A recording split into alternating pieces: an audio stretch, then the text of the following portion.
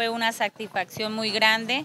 Mucha gente, muchas familias, estas 65 familias que el día de hoy les entregaron las llaves de su casa en Villavía, etapa 3, eh, no durmieron del anhelo, la fe y la esperanza de que por fin hoy, 15 de julio del 2022, se hizo su sueño realidad de tener su casa propia, una casa, digna donde poder vivir con sus familias. ¿Cómo eh, fue la entrega de estas viviendas el día de hoy?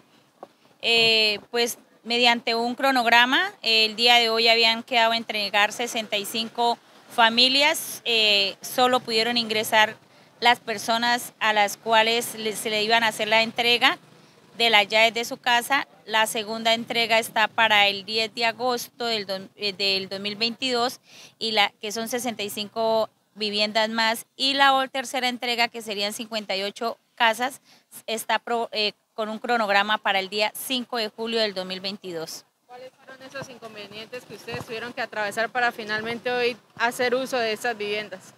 Pues realmente hubieron muchos factores, eh, un impuesto de guerra, el tema del COVID, después el tema de los derrumbes de la vía, pero hoy Hoy realmente la felicidad fue muy inmensa para estas familias, muchas lloraron de la alegría, muchas brincaron, gritaron y pues agradecer al señor Luis Eduardo Castro que el día de hoy cumplió la palabra del compromiso que estaba en el acta de estas 65 viviendas. Marcela, eh, de acuerdo al cronograma y hoy que pudieron visitar el área, ¿sí se va a cumplir eh, dentro de las fechas establecidas la entrega de las demás viviendas? Sí, claro que sí. Hoy miramos realmente el compromiso de tanto el INDED, en cabeza del ingeniero Giovanni, la ingeniera Joana, eh, la administración, el contratista, el ingeniero Luis Fernando, la interventoría de ARCO y pues por supuesto la personería y la Procuraduría Regional de Casanare. ¿Estas viviendas ya tienen el tema de servicios públicos o ustedes tienen que realizar todo ese trámite? Eh, sí, ya tienen servicios públicos, solo que nosotros como beneficiarios en los compromisos que quedaron eh, eh, somos los responsables de hacer los trámites de matrícula para contar legalmente con los servicios en cada una de las viviendas. Marcela, este proyecto siempre se manifestó con problemas de alcantarillado, de aguas residuales. ¿Cómo se encuentra en este momento ustedes ya como beneficiarios que le hacen la entrega esta problemática en este sector? Pues con el tema del agua residuales, pues ahí tocaría llegar a ver qué pasa, porque pues realmente eh, toca eh, hablar con los de la Junta, que está conformada legalmente en el barrio, eh, si, si, hay problemática o no hay problemática, pues, pues como hasta el momento nos van a entregar las llaves hasta el día lunes a partir de las 7 de la mañana, realmente cada uno de los beneficiarios ya pueden hacer su respectivo trasteo y poder vivir en sus viviendas ustedes pensaron que este sueño no se iba a hacer realidad pues con tantos inconvenientes que usted manifestaba, el tema de pandemia y otras situaciones? Sí, claro. Eh, siempre nos daban unas fechas y íbamos entusiasmados para esas fechas.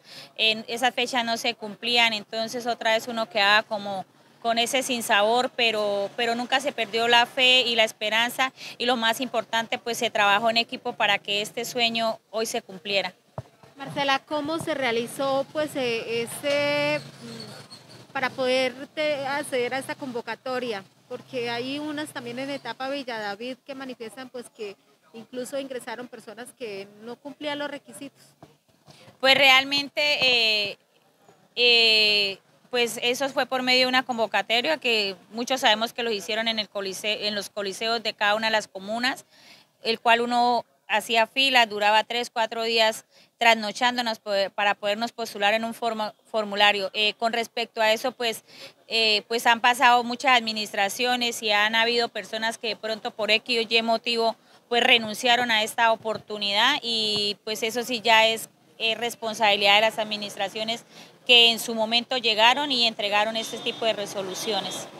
La reunión que ustedes sostuvieron hace algunos días con la presencia pues, del eh, procurador, ¿qué se pudo hablar de las deficiencias quizás que de pronto se tuvieron en algún momento o si se adelanta alguna investigación en estos procesos?